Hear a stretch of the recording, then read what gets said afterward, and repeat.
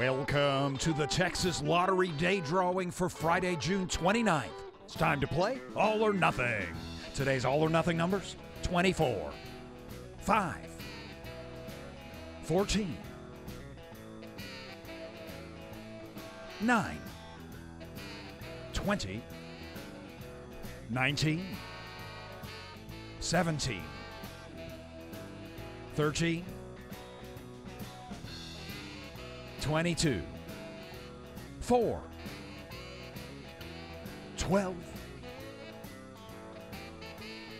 and 8. Again, your all or nothing numbers.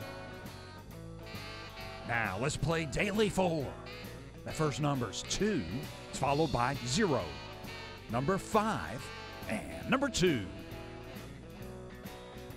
Again, those daily four numbers two, zero, five, and 2. And the sum it up is 9. Now it's time for your pick three numbers.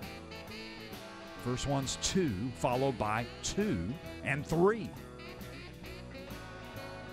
Again, your pick three numbers 2, 2, 3. And to sum it up, 7.